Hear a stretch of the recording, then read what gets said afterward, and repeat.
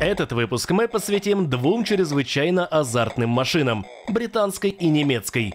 Первая – классический мини-переделанный фирмой David Brown Automotive. Учитывая большой тираж поддержанных миников, эта мастерская решила пересобирать олдтаймеры, используя современные технологии и комплектующие. Говоря музыкальным языком, делать ремастеринг.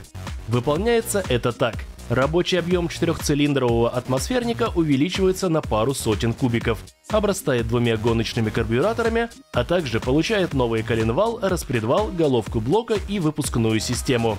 В итоге отдача мотора вырастает до 127 сил против начальных 79.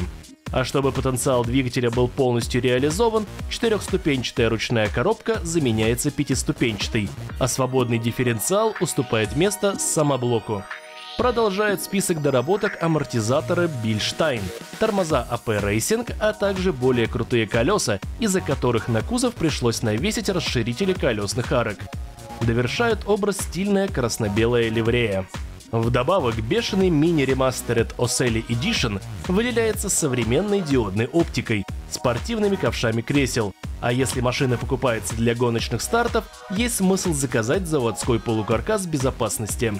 Тираж перекроенного ретромобиля хотят ограничить 60 экземплярами, притом цену компания не раскрывает. Но не стоит рассчитывать, что такой хэтчбэк будет стоить дешевле сотни тысяч британских фунтов. Между тем, BMW сейчас готовит новое поколение второй серии – машины шустрой и азартной – Притом, если однообъемники и седан сохранят переднеприводную компоновку, то двухдверки традиционно заготовлен задний привод. Официально объявлено, что жесткость кузова на кручение вырастет на 12%. Кроме того, станет шире колея и продуманнее аэродинамика. Стандартная подвеска получит амплитудозависимые амортизаторы, а заказная – адаптивные электронно-управляемые. Базовыми будут четырехцилиндровые турбомоторы, но 240-я заимеет турбошестерку. Мощность трехлитрового двигателя вырастет, а коробка передач станет восьмиступенчатой. Старт производства назначен на конец лета. А пока немцы публикуют официальные фотографии закамуфлированных машин.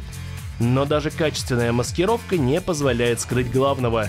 Новая двойка тоже получит огромные ноздри.